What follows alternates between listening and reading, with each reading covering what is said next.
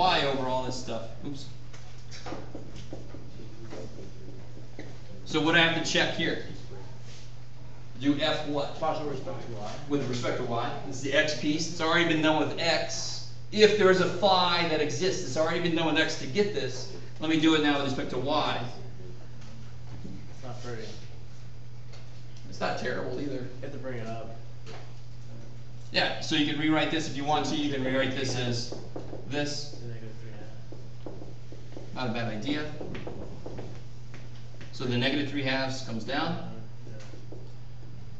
You can do it, Joe. X squared plus y squared to the Negative. You got five over. I was there. times The. Which is. Oh, two sorry, y. two two y. And here, what's g, what do we gotta do here? Exact same thing but opposite. G x. gx. And can you tell, maybe some of you guys can tell already, Exact same thing but opposite. yeah, it's just gonna have a y there. Y. Yeah, it's gonna be the same thing, right? Let's, let's do it real quick. It'll be, I can rewrite this as y, x squared plus y squared to negative three halves. There's a purpose, don't worry. There's a reason I'm doing it with this ugly thing, because I wanna look back at what we did here and show you how we could have done it a lot easier. Um, where am I at?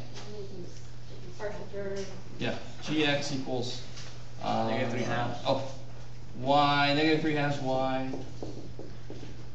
negative five halves times uh, two. two x. And so it's the same thing. Right, here's the x and here's the y, there's the y and there's the x. They're the same thing, are you with me? Yeah, What does that mean? it's exactly.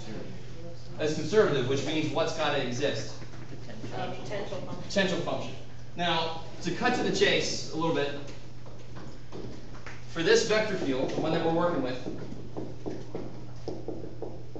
anybody, just, can anybody possibly see where this might have come from? So, so if we can't, let's say this, phi x must be the, this first piece, right? Is it x squared plus y squared to the one half? So if I integrate that, and that sounds like it's gonna be horrible, but it isn't, because that's there, and that's supposed to, that needs it, all that kind of stuff. So you sub? Now, I gotta be careful about the constants here, but if I try to integrate this thing, no, let's, let's try. Is this a unit vector? And then you do conservative. So what's phi gonna be? If I integrate this piece, and again, these are the steps to find the potential function. I was saying, can we split it kind of like x, wait, is it just, never mind. You don't have to split it, don't worry about the y squared there, cause y is just a constant now. Uh, two, you? So you could do like a u sub, right? Yeah. So du would be two x dx, everything's in terms of x, you with me? two. So then I just need a two in there. So I have one half integral of, uh, let's see, that's du, it'll be u to the negative three halves du, is that cool? Mhm. And what do you get when you integrate that? Um, negative two, u, or one half. Yeah. Negative one half, You get u to the negative one half, one half divided by, times negative two. times negative two. So that's gonna be negative u to the negative one half. So negative x squared plus y squared is negative one half. Mhm. Right, plus, it would be plus some function of y, So that's just r. right? But if I did the, if I did phi y the same way, I get the same kind of thing. Which means that you haven't lost anything, So it's basically gonna be this thing here, which is r. which is one over r, yeah. Uh, let me see, I don't wanna lose this. How do you come Joe? Yeah. Over there, you say it's the same because you could move around the two and the three halves and you still get the same thing. Where are we at, sir? So you're saying the same thing because you can move around the two and the three halves and it'll be like. Yeah, the two comes out, x, y, negative three, yeah. Um, Progress. yeah. Why did you pull out the one half as the coefficient? I know One you- half to I- make a two here, cause I need a two for my du. So again, I don't know how you guys are taught to do this, Do you? I just divide but to me, I give myself what I need here to make it du. So I thought it'd be one half du would equal x dx, and you have x dx, right? Yeah, so then you have a one half. So your one half shows up because you have a one half. Oh, there. My one half shows up because I need it too. I, I got it. At the end, it's the same thing. Yeah. Cool.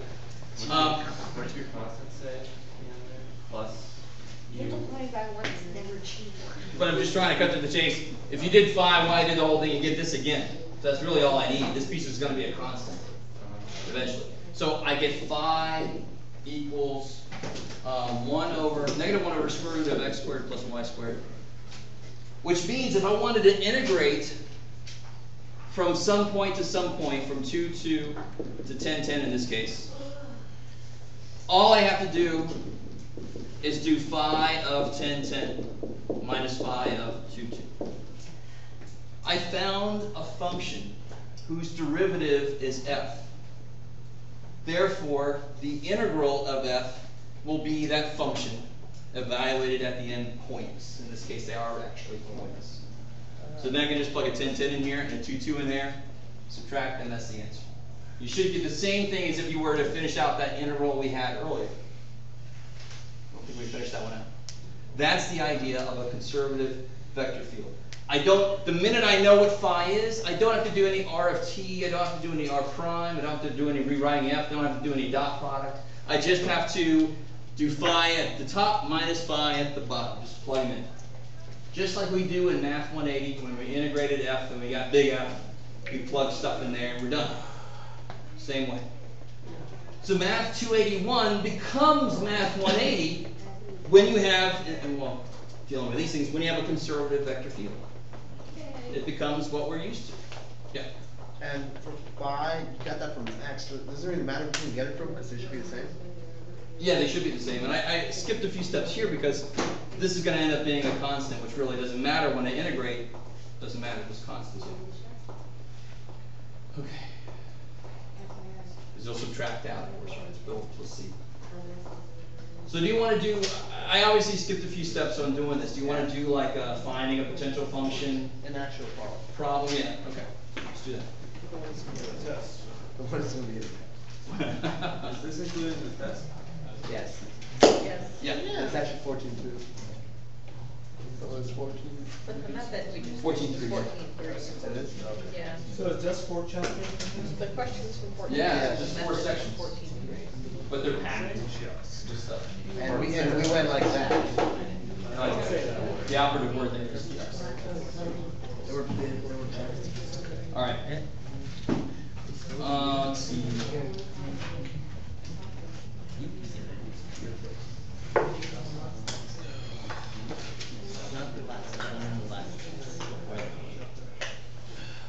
This is on the green sheet that is seventy to get a B.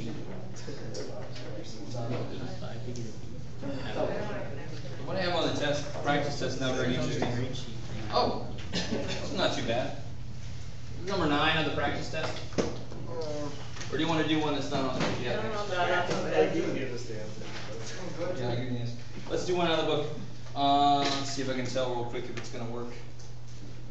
This section says, first see if it's conservative. Well, it almost doesn't matter. Um,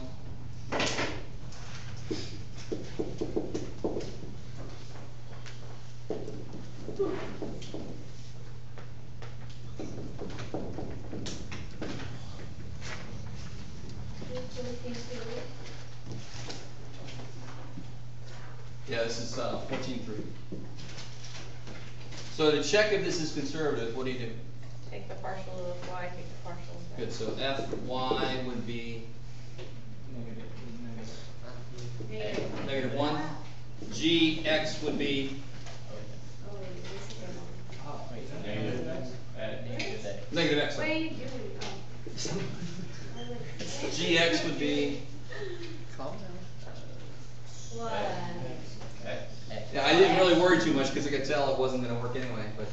Yeah, so negative X here, I get an X there, so is it conservative? No. Now, to kind of still work with this one, how could I redo, let's do seventeen star? All I'd have to do to make it conservative would be to do what? Multiply. Put a negative right there, right? Because then this would be, or even just make that a plus, maybe we can do that. If I make that a plus, then Fy is X, and Gx is X. Oh, but we can't just make it. Well, I made a new But problem. what if we don't know how to, what if we don't know how to just make stuff like Alright, now, no. that? This is, uh, this is called, no, this is called teaching. I'm making a new problem. Oh. Yeah, so I wanted to point out, you could see, now you're not allowed to do that, obviously, you can't take the problem I give you and go, well. Yeah, I thought you wanted to manipulate it, and we're like, This is oh, called, what we doing? I wanted you to do this, Some of so. us can barely integrate. I don't wanna do this problem, I wanna do this way. So this is seventeen star, alright, this is a new problem. Okay. The reason I wanna do that is because I wanna see, could you see the part that was wrong with this, to make it, to make it conservative? If I wanna make a conservative vector field on a, on a test, and I was checking my work before I gave it to you, and I go, shit, that's negative x, I should make it plus there. And then I give you the test and I'm good to go, right? Yeah, By looking at those two partials, how do we know it's not conservative?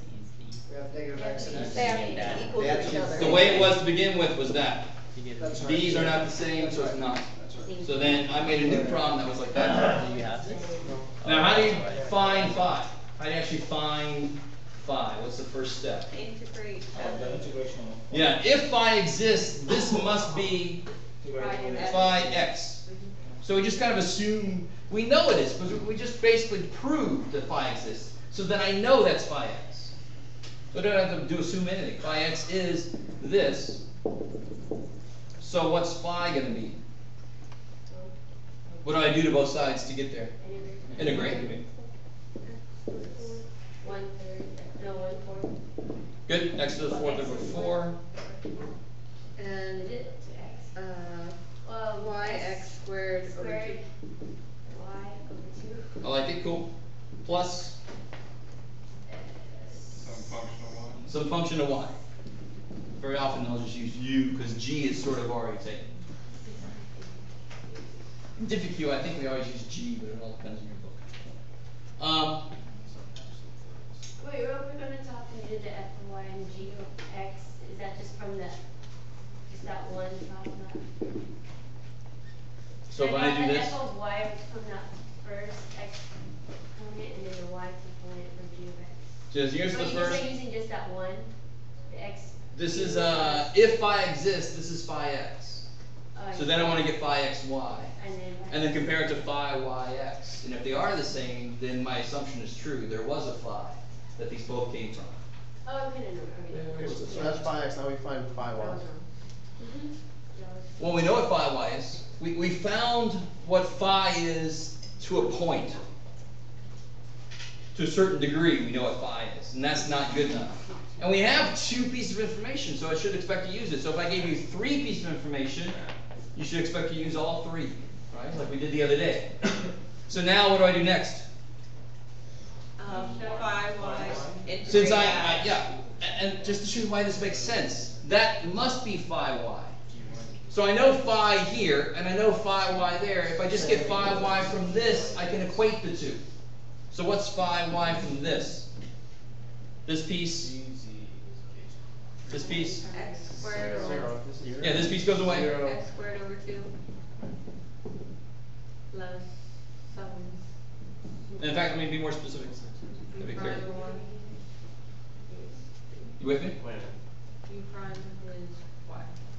Yeah, and I put, I always put that so that when I do the next step, I don't forget that this is with respect to y. Yes? I'm, I'm I'm confused how I did this, like. That's X four to over four, not Y. What's the matter? It's definitely next there. So So if this is phi, and I know this is phi, because I know this is phi x.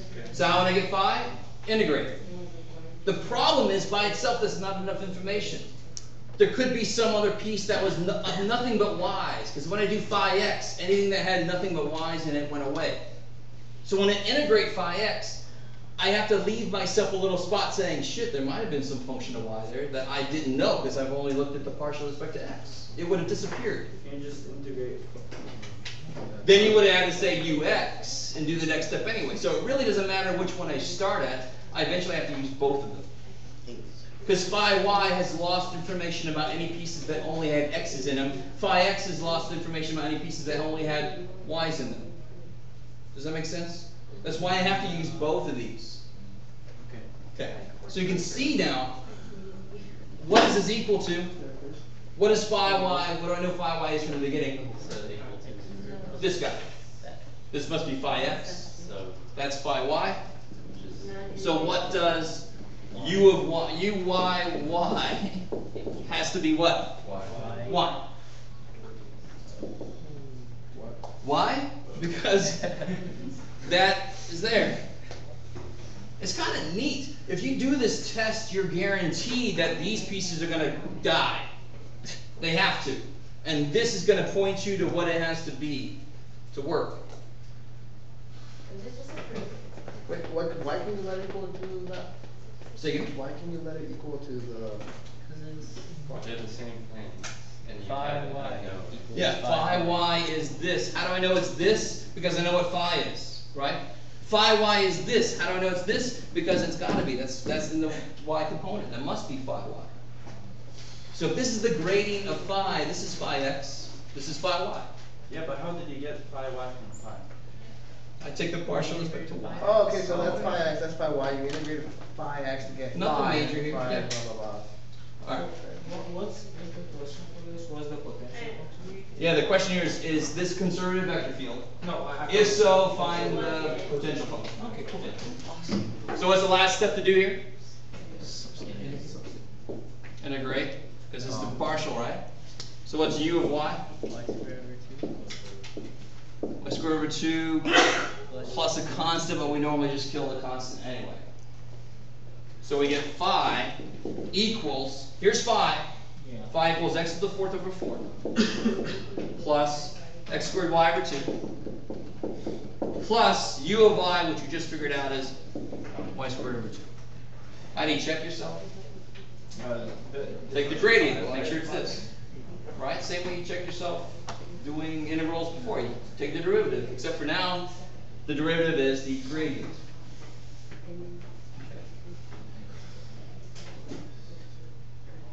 Is that a two? Uh, is that a Right here? Yeah. Yeah, that's a two. Two. So if we just, So, yeah, but, we just neglect the final C, we don't. we don't- yeah, we normally don't worry about the c, because the next thing we normally do with this function is we use it as an answer to an integral of f. So if I wanted to integrate this f from the point, I don't care really, to some other freaking point, So it's, the integral of this vector field, from that point to that point, if I wanted to do this, that's gonna be, yeah, phi evaluated at three, four, minus phi evaluated at one, negative one. Then you just plug three, four in there, get a number, minus plug one, negative one in there, get a number. That's the part that's as close as you get to math one eighty, right? It's pretty damn close. Except of course our inputs are now points.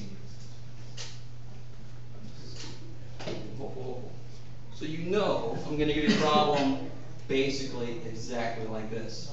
Right? You know that. What's There's this, verify it's conservative, find a potential function, now integrate. Alright, so there's a gimme. So phi is a potential function? Phi is your potential function. It's just called that because it has an associated vector field that if I take the gradient of phi, it equals that vector field. That's why it's called a potential function, because it has a gradient field that goes with it. Can we take a break? And what are, what are those points? What's that? What are the points, one negative one, those are arbitrary? That would be like part B of the question. This would be my part A. So what? Actually, what- this would be my part A, this would be my part B, uh, is to find this, and this would be my part C. What would be, what would be the question for Marcy? again? Uh, integrate the, over the vector field, the line from, uh, one negative one to three Oh, four. and do we know phi, just plug in the points for phi? Or I could even say, I could be very evil.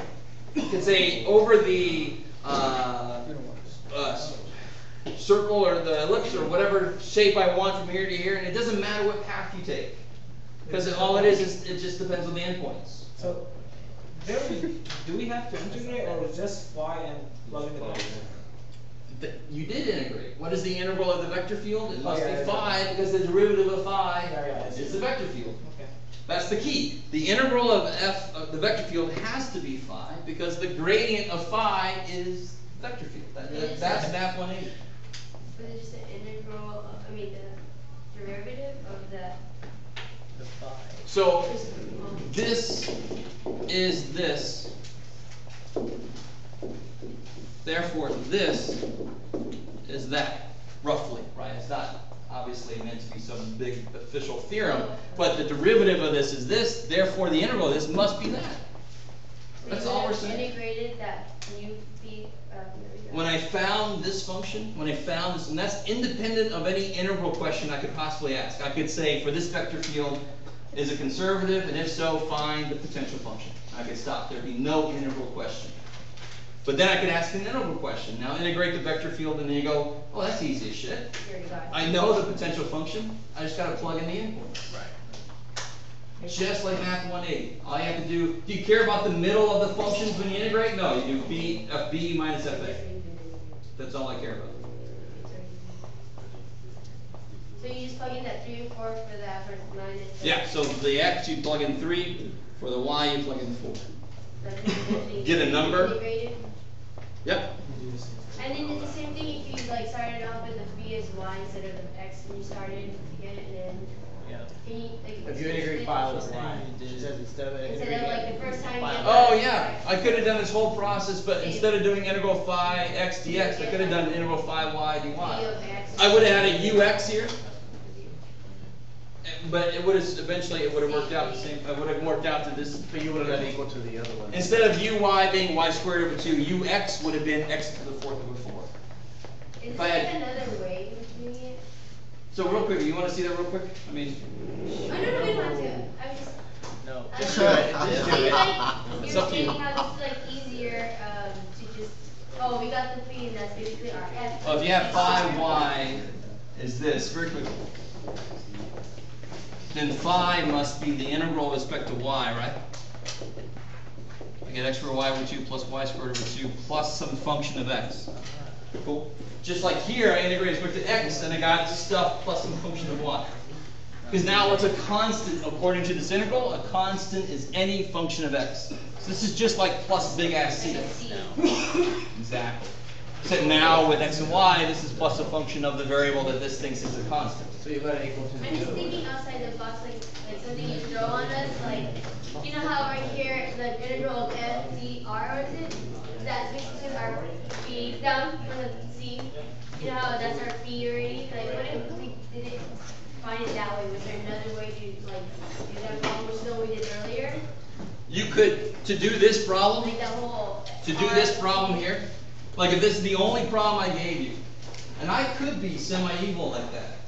And I. and I'm not going to, I mean, I could, I'm probably not gonna give you an integral of a vector field that's conservative, because I have to test to make sure you could do the other process, because somebody could be smart enough to go, let me see if that's conservative, it is, cool, let me, do- alright, I'm. Shit, I never tested you, if you could do it the other way. So, if I, if I gave you this, and I said, do this integral, you could find the R of t for whatever path I told you to go from here to here, Yeah, easy. and do the whole steps, right? So, or you could do this, and then the integral's really easy. Yeah. Unless you specify. So you can certainly imagine in vector fields, I could give you vector fields whose integral is basically impossible, but they're conservative, therefore you can do them. You with me? Sort of. Semi. Semi, almost, okay. Helpful. You want to tell us a little bit of what we should be thinking about for tomorrow, or for today's test? Or is that it? Well, this and homework. Alright. So I gave you all the answers last time. For the homework, that should make that something you can at least check the answers. Right. Um, I gave out the practice final last time too, so I forgot to bring extra copies with me, Because so you if you gave it need. to, does that mean you have to turn it in still? Turn what in? Homework? The homework? Yeah, you still have to turn Okay, it. I'm, I'm just gonna check off that you did it, and right. it's up to you, so if you just want to copy, I don't care. You did. Do you have practice spot in your office? It's up to you. If you don't wanna get practice doing the homework, that's totally, uh, Oh, your office hours, they're after class, though, right? yeah, what's up? Do you have practice finals in your office? I, I should. There should be a little pile, hopefully. I'm hoping I didn't leave them at home. Or you just print one out for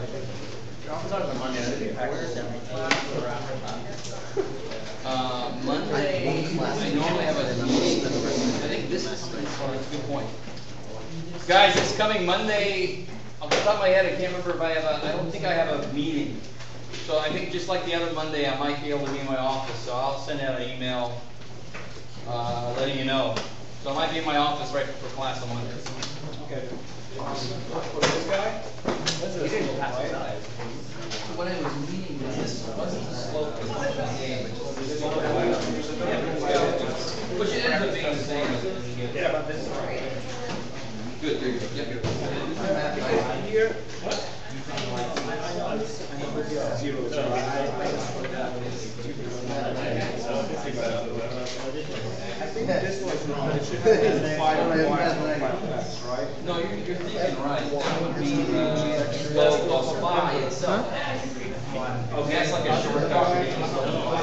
So if it was X, X. In this case, it doesn't matter. Just like. So he made it, so, so, so on the test, he wants to modify. But no, we can do modify the. Okay, gotcha. Yeah, you do corrections, if you get them all right, you make like a ninety-eight, you could do a ninety. Yeah, yeah, yeah, okay, okay. If you get half the person try this, I think you halfway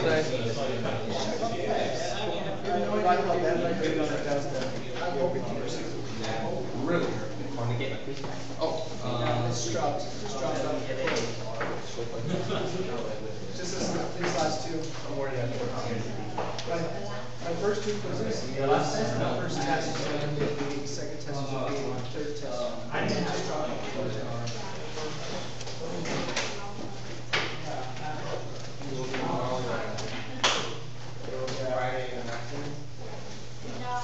Danny, Yeah, are you gonna be here on Friday? Friday, my test, like after like nine, I gotta go check out a car.